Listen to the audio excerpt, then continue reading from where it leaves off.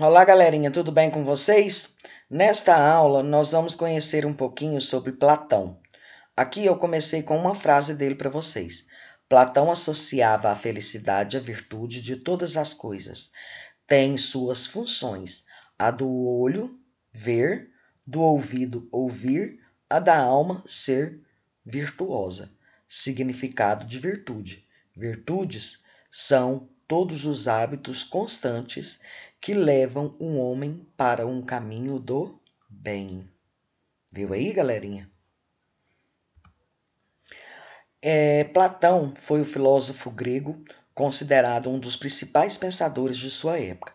Discípulo de Sócrates, procurava transmitir uma profunda fé na razão e na verdade, adotando o lema de Sócrates: o sábio é o virtuoso.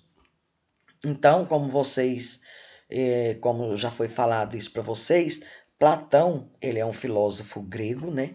Um dos principais pensadores da sua época. Ele era discípulo de Sócrates e ele procurava transmitir uma profunda fé na razão e na verdade, né? Então ele procurava sempre a razão e a verdade adotando do lema de Sócrates: o sábio é o virtuoso, certo? Então, ele sempre foca na fé, na razão e na verdade. Tranquilo? Platão opôs-se à democracia ateniense e abandonou sua terra. Viajou para Megara, onde estudou geometria, foi ao Egito, onde decidiu decidiu-se a astronomia. É, em Cirene, norte da África, dedicou-se à matemática. Em Crotona, sul da Itália, reuniu-se com discípulos de Pitágoras. Então, é, ele, o que, que aconteceu com ele? Ele opôs a democracia anteniense, né? E abandonou, né, a sua terra. Ele viajou para Megara, onde estudou geometria, né? Foi no Egito, onde dedicou-se à astronomia. Em Cirene, no norte da África, ele dedicou-se à matemática. E na Crotona, no sul da Itália, ele reuniu com os discípulos de Pitágoras. Então, olha só para vocês verem, por tantos lugares que ele passou, em cada um deles ele estudou, ele dedicou a alguma coisa. Né? O primeiro ele dedicou a geometria, depois a astronomia e depois a matemática. E no, por último, ele juntou né, aos discípulos de Pitágoras. De acordo com Platão, a realidade e o conhecimento são formulados em mundos distintos. O inteligível e o sensível. As ideias nascem de um mundo inteligível, real e imutável, dominados pela razão e pelos conceitos, sendo, portanto, perfeitos. Já o mundo das sensações seria uma mera, mera cópia do mundo inteligível o que os tornariam imperfeitas. Dessa maneira, para Platão, as sensações podem nos confundir e induzir ao erro, sendo somente a razão a responsável pela formação do conhecimento. Então veja só, galera, de acordo com Platão, a realidade e o conhecimento, eles são formulados em mundos distintos, né? O inteligível e o sensível e que as ideias nascem do mundo inteligível, real e imutável, dominados pela razão e pelos conceitos, sendo, portanto, perfeitos. E já no mundo das sensações, seria a mera cópia né, do mundo inteligível, que os tornariam imperfeitas. Dessa maneira, para Platão, as sensações pode muito confundir e induzir ao erro. Porque nós somos seres humanos, né? Sendo somente a razão a responsável pela formação do conhecimento. Então, quando você é, que nós seres humanos nós não somos perfeitos. Então, isso aí é, um, é o mundo das sensações, porque nós sempre nos confundimos e nós somos induzidos ao erro. E somente a razão, né, trabalha com o conhecimento. Beleza? Platão e o mito da caverna. Aqui nós já vamos falar um pouquinho sobre a questão de Platão, né, e o mito da caverna. Platão escreveu em forma de diálogo no livro 7 da República da História, O Mito da Caverna, onde relata a vida de alguns homens que desde a infância se encontraram aprisionados em uma caverna, com uma pequena Aqui, gente, gente, ó, é cobertura, tá? Eu escrevi errado aqui, ó. Aqui é cobertura, beleza? Cobertura. Por onde penetra a luz. Aliás, é uma pequena abertura mesmo. Tranquilo? É a abertura mesmo. Que no caso era onde era transmitida a luz. Tranquilo? Então não é cobertura, não. É abertura. Eu que fiz confusão.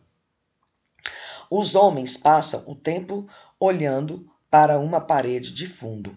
Lá fora, nas costas dos cativos, brilha um fogo aceso sobre uma colina e entre ela e os presos passam homens carregando pequenas estátuas.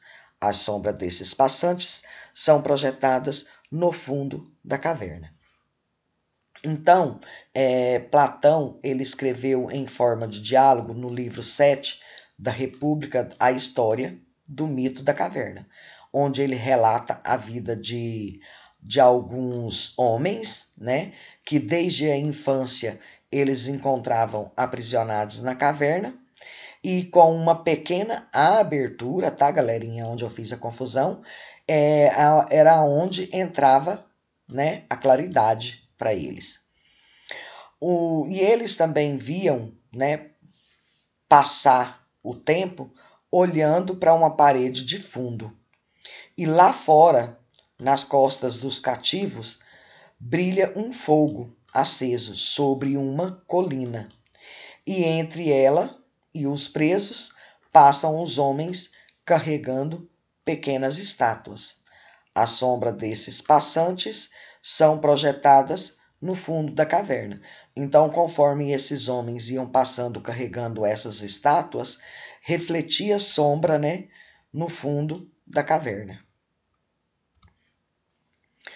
É também em A República que Platão escreve uma de suas passagens mais famosa, o mito da caverna. Na passagem, Platão narra a trajetória de um prisioneiro em uma caverna que, insatisfeito com a condição, rompe as correntes e sai do local pela primeira vez na vida. Esse prisioneiro, agora livre, depois de contemplar o mundo no exterior da caverna, sente compaixão pelos demais prisioneiros e decide regressar para tentar libertá-los. Ao tentar se comunicar com um dos outros prisioneiros, ele é desacreditado, tido como louco e finalmente morto por seus colegas de aprisionamento. Então, olha só que, que triste. E é nessa a República que Patrão também, Platão também escreve uma de suas passagens mais famosa no mito da caverna, que é onde ele narra, né, a trajetória de um prisioneiro né, que uma caverna que ele não estava satisfeito com a condição de prisioneiro, ele rompeu essas correntes. Por quê? Porque ele saiu, né, pela primeira vez na vida, ele saiu de dentro da caverna. E agora, ele livre, ele contempla, né, a beleza do mundo, né, no exterior, fora da caverna e ele sente compaixão pelos demais prisioneiros, e então ele decidiu voltar para tentar libertá-los. E com essa tentativa, né, de tentar libertá-los, ele comunicou né, com os outros prisioneiros. E ele ficou desacreditado, tido né, na época como um louco. E quando foi que ele foi morto né, pelos colegas, os colegas do aprisionamento. Então, os colegas dele da prisão, lá do, do, da caverna, nunca acreditou nele e considerava ele como louco. Então, finalmente, o que, que aconteceu? Os seus colegas né, o mataram. Com essa metáfora, Platão buscou demonstrar o papel do conhecimento, que para ele seria o responsável para libertar os indivíduos da prisão imposta pelos preconceitos e pela mera opinião. A saída da caverna representa a busca pelo conhecimento, e o filósofo é aquele que, mesmo após a liberdade das amarras e alcançar o conhecimento, não ficou satisfeito. Assim, ele se sente a necessidade de libertar os outros da prisão da ignorância, mesmo que isso possa causar a sua morte, como aconteceu no caso do prisioneiro da alegoria de Sócrates, mestre de Platão. Então, olha só, com essa metáfora, né, que Platão ele buscou fazer o que? Demonstrar, né, o papel do conhecimento. Então, através dessa atitude desse homem, né, ele queria mostrar o conhecimento e, e ele seria o responsável né, por libertar os indivíduos da prisão, que foi impostas pelo preconceito, pelo preconceito e pela mera opinião. Então a saída da caverna ela representa esse conhecimento. E o filósofo é aquele que mesmo após ele ter se libertado, né, das amarras ele alcançou, alcançou o conhecimento. E com isso ele não ficou satisfeito. E foi aonde ele voltou, né, para poder libertar os outros da prisão, da ignorância, né, dessas pessoas, mas com, com essa, essa trajetória dele, com essa luta dele, o que, é que aconteceu? Ele foi morto pelos próprios prisioneiros. Beleza? Razão e sensação. De acordo com Platão, a realidade é o e o conhecimento são formulados em mundos distintos, o, o inteligível e o sensível. As ideias nascem do mundo inteligível, real e imutável, denominadas pela razão e pelos conceitos, sendo, portanto, perfeitos. Então, aqui é um resuminho né, do que eu já havia falado lá atrás para vocês. Lembra que eu falei lá do inteligível e do sensível, né? Que são que o Platão ele define o conhecimento, né? Em dois mundos, o inteligível e o sensível. O inteligível é dominado pela razão e, e pelos conceitos, sendo, portanto, perfeitos. Beleza? Já no mundo das sensações, né, que eu estou repetindo aqui, ó, seria uma mera cópia do mundo que se tornariam imperfeitos. Lembra que eu falei que nós todos nós somos imperfeitos, né? Nós seres humanos nós somos imperfeitos. Dessa maneira, para Platão, as sensações podem nos confundir e nos induzir ao erro, sendo somente a, raz a, a razão responsável pelo conhecimento. Tá, gente? Então isso aqui é muito importante, por isso que eu repeti ele aqui. Platão diz sobre a razão é que ela é o elemento que fundamenta o mundo. Ela é logo, isto é, totalmente lógica. Para ele, é a razão que torna possível o conhecimento da, da realidade inteligível. Sem a razão, para Platão, nós seríamos incapazes de interpretar o mundo, construir o conhecimento e utilizá-la em benefício pessoal e coletivo, gerando o desenvolvimento da humanidade.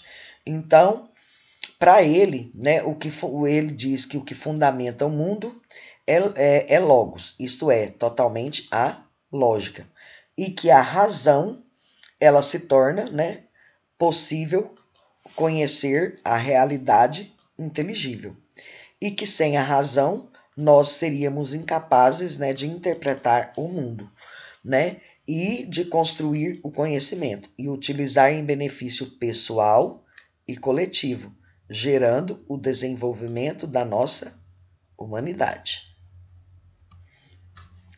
Outro fato que Platão diz sobre a razão é que sem ela nós estaríamos completamente perdidos, porque seríamos totalmente guiados pelos nossos sentidos.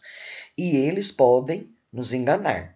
Para Platão, a razão é aquilo que fundamenta o mundo, mas que só existe através da capacidade da mente humana. Para ele, como todo filósofo, a razão é o meio do conhecimento para a verdade. E eu acho muito certo, né? O que ele fala sobre a razão e que nós estaríamos sem a razão completamente perdido, né? Porque nós seríamos o quê? Nós seríamos é, enganados, né? Por, pelos nossos sentimentos. E Platão, é, ele fala que a razão é, é o que fundamenta né, o mundo e que existe atrava, através da capacidade da mente humana. E, como todo filósofo, a razão ela é o que? É o meio do conhecimento para a verdade. Então, ela é o meio do caminho que nos leva à verdade é a razão. Lembra uma vez que eu citei para vocês o exemplo do, do julgamento, que se você fosse um juiz, né, em uma determinada situação, você ia levar pela emoção, pela sensação ou pela razão? Lembra disso? O conhecimento das ideias adquirido através do uso da razão não é transitório, uma vez que as ideias são imutáveis. Então, se sabemos que é a beleza tal conhecimento, jamais será ultrapassado ou deixará de ser verdadeiro. Então, que o conhecimento né, das ideias ele é adquirido através do uso da razão. Tudo é construído pelo motivo razão. E ela não é transitório, uma vez que essas ideias são imutáveis. E se sabermos o que é a beleza, tal conhecimento jamais será ultrapassado ou deixará de ser verdadeiro. Então, se você sabe o que, que é, o que, que significa beleza, jamais vai mudar isso aí. Ele pode, né? Ele não vai deixar nem de ser ultrapassado, mas ele vai ser verdadeiro. Tranquilo? Então, galera, com essas explicações, vocês vão estar respondendo as questões da apostila, né, dando sequência. E qualquer dúvida estou à disposição, é só vocês me chamarem, tá? Para eu poder estar tá tirando a dúvida de vocês. E até a próxima.